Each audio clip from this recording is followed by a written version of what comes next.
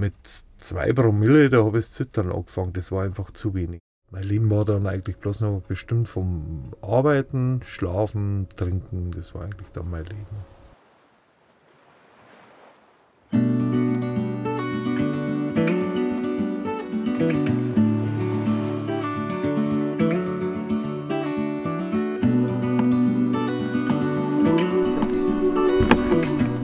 Ja, hallo, ich bin die Traude. Hallo, ich bin der Jason und wir wohnen seit einem Jahr in dem Wohnmobil.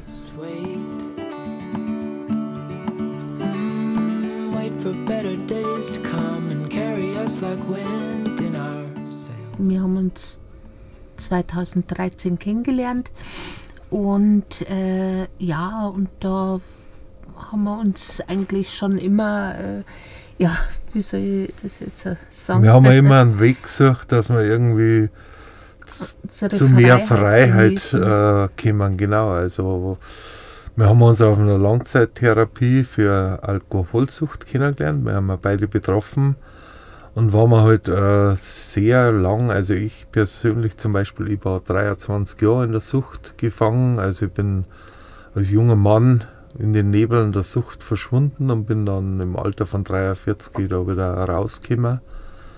Und dann haben wir wahrscheinlich irgendwie so einen riesen Freiheitsdrang entwickelt, Hm. weil wir einfach so viel verpasst haben im Leben. Aber wir haben auch nichts gehabt, wir haben auch quasi von Null angefangen, dann Ganz klein. haben wir erst mit dem Fahrrad, mit dem Fahrradanhänger hinten dran, haben wir dann auf äh, haben wir dann zu Märkte, also Floh- und Jahrmärkte hingeradelt, haben wir Schlüsselanhänger und alles Mögliche verkauft. Bis wir uns dann mal so ein, ein günstiges, gebrauchtes Auto leisten haben können, dann haben wir schon ein bisschen einen größeren Stand gehabt. Und irgendwann äh, ist dann dazu gekommen, dass wir gesagt haben, jetzt das nächste Ziel muss dann äh, Wohnmobil oder sein oder irgend so in, dies, in diese Richtung. Die ganzen Schränke, das sind warme, so medi mediterrane Farben sind es werden. Und das ist eigentlich geplant für den, ab dem Zeitpunkt, wo wir wieder ein bisschen Geld verdienen können. Also es ist noch viel zu machen, da erinnert. Da kommt ein neuer Fußboden rein, das sind jetzt bloß so Läufer, weil da war ein riesen Wasserschaden, der war gut versteckt, das haben wir nicht gewusst. Also der war gleich zweimal mit PVC verklebt, dass man sie auch nicht sieht und so. Und außen wird es auch noch renoviert, also es wird richtig schön bunt und äh, gemütlich werden. Wir fühlen uns jetzt schon wohl, aber einfach so warme Farben und die, die Polster werden neu überzogen. Genau. Aber das ist halt alles nur noch eine Frage der Zeit. Jetzt haben wir erst einmal den Wasserschaden reparieren müssen. Der war in der Heckgarage ganz, ganz enorm. Die letzten Jahre war ich dann im Hofbräuhaus München als Kellner. Da habe ich dann wirklich äh, unbemerkt dringen können. Äh, da war es dann schon ganz schlimm. Da habe ich dann zum Frühstück schon Schnaps braucht und irgendwann habe ich dann einfach nicht mehr können und, und, und äh, ist ein nervlicher und ein körperlicher Zusammenbruch draus geworden und dann ist es losgegangen. Ich wollte dann Hilfe und ich habe auch Hilfe gekriegt. Es gibt also Hilfe, das habe ich halt leider vorher nicht gewusst. Und bin dann zu Entgiftungen gekommen, insgesamt 23 Alkoholentgiftungen und zwei Langzeittherapien habe ich gebraucht bis ich dann dauerhaft trocken blieb oder geworden bin. Und äh, ja, ich wäre eigentlich fast gestorben an der Sucht. Ich habe ein Delirium schon gehabt und, und, und eine Bauchspeicheldrüsenentzündung, eine ganz schmerzhafte, böse Sache. Ja, es war so schlimm, dass ich äh, mit über 4 Promille, so bin ich mal in die Klinik zum Entgiften, eigentlich ganz normal äh, gelaufen bin. Ich habe mich mit denen ganz normal unterhalten und habe gesagt, ich habe fast nichts getrunken und so. Äh, da war ein anderer, ja, vielleicht schon im Koma liegen würde. Und bei 2 Promille, wo jeder andere einen Vollrausch hat, also nicht jeder andere, sondern jeder Gesunde, der wo jetzt nicht alkoholkrank ist, da haben bei mir die Entzugserscheinungen schon angefangen. Also mit zwei Promille, da habe ich das Zittern angefangen. Das war einfach zu wenig. Und das ist immer schlimmer geworden und das, das geht dann so rasant und die Mengen, äh, die wo man dann braucht, das kann man mit Bier oder Wein nicht, nicht mehr her, äh, herbringen. Man trinkt dann Schnaps, äh, man, man hat wirklich äh, Magenprobleme, übelste Magenprobleme, alles ist entzünden, die, die Speiseröhre. Und der Körper möchte es immer wieder raus haben und man versucht es zum unten halten. Es ist ganz schlimm. Nein, der Alkoven, das ist bei uns ein Stauraum. Da hinten haben wir die Getränke. Das ist meine Arbeitstasche für Lesungen und so.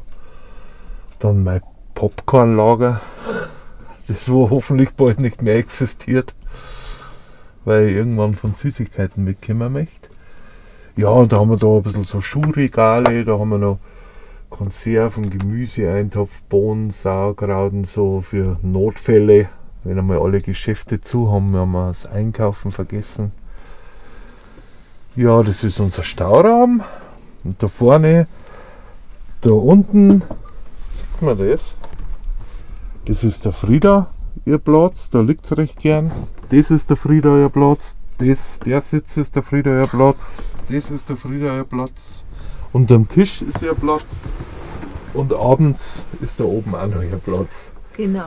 Also die hat sieben oder acht Plätze, wo sie sich wohlfühlt. Und da oben macht sie sich gern, äh, machen wir ja, richten wir das ein bisschen her abends, da kannst du sie dann richtig lang machen. Und da fühlt sie sich wohl das ist eigentlich das, mit dem, wo ich mein Geld verdiene und das, wo eigentlich auch alles verändert hat in meinem Leben. Äh, ich habe dann das Buch geschrieben, habe es dann veröffentlicht. Das sind drei Bände. Den ersten Band habe ich geschrieben, da war ich teilweise noch nass. Den zweiten Band habe ich geschrieben, äh, da war ich drei Monate trocken. Und den dritten Band habe ich geschrieben, da war ich drei Jahre trocken. Und da haben alle drei benannt. Das ist die Buchhandlungsausgabe. Ja, und dann äh, haben plötzlich Suchtkliniken auf mich zugekommen, Suchtberater, Gesundheitsämter, Schulen, ob ich nicht eine Lesung machen kann. Oder, oder, Lesungen. Und dann am Anfang war für mich das unvorstellbar. Ich habe ja überhaupt kein Selbstbewusstsein, nichts mehr gehabt. Das habe ich erst auf Therapien mühsam wieder lernen müssen. Und dann habe ich doch die erste Lesung mit zitternden Knien habe ich das gemacht und zwar in der Klinik, wo ich entgiftet worden bin, 100 Mal. Gefühlte 100 Mal. Und dann habe ich einfach gemerkt, dass ich was bewirken kann damit. Und dann habe ich Leserbriefe gekriegt von Leuten, von Betroffenen, Angehörigen, Betroffene, die gesagt haben, Mensch, das hat ja so Mut gemacht und sie, sie haben nicht so und so lange schon trocken und äh, sie haben sich da wieder erkannt. Ich möchte den Alkohol nicht verteufeln, sondern ich möchte einfach nur sagen, dass da einfach eine zweite Seite gibt vom Alkohol, weil er eben funktioniert. Das ist ja das Hinterhältige, wenn man hernimmt für irgendwie für Selbstbewusstsein, gegen Ängste oder so. Er funktioniert so ähnlich wie Schmerztabletten vorübergehen und das macht ihn halt so heimtückisch. Von nun an konnte ich wieder einkaufen, Bahn fahren und all das machen, wozu ich Lust hatte. Dank seinem vermeintlichen Retter in allerhöchster Not. Seit diesem verhängnisvollen Tag gab es keinen weiteren mehr, den ich ohne Alkohol verlebte. Erst im Alter von 43 Jahren sollte sich das erstmals wieder ändern. Schon das Wissen um diesen angeblichen Schutzschirm wirkte sich positiv auf meine Panikstörungen aus. Konnte ich mal nichts trinken, reichte mir allein schon der Gedanke, dass zu Hause ein Rettungsanker auf mich warten würde.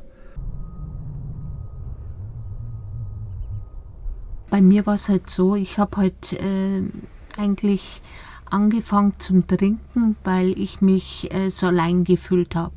Also eigentlich aus tiefster innerlicher Traurigkeit die ich aber nicht irgendwie äh, benennen kann, äh, da habe ich getrunken halt am Abend dann immer und vorm Fernseh schauen und dann so äh, traurige Filme angeschaut und dann geweint dabei und äh, ja, und das habe ich jahrelang gemacht und dann wurde es halt dann immer mehr. Also äh, ich habe hauptsächlich Wein habe ich getrunken und ähm, ja und dann mal ein paar Schnäpse noch dazu und dann, also ich war so, so, so trauriger Trinker halt einfach. Ne? Ich habe auch nicht in Gesellschaft äh, gerne getrunken, also da habe ich fast nie getrunken, sondern nur für mich alleine.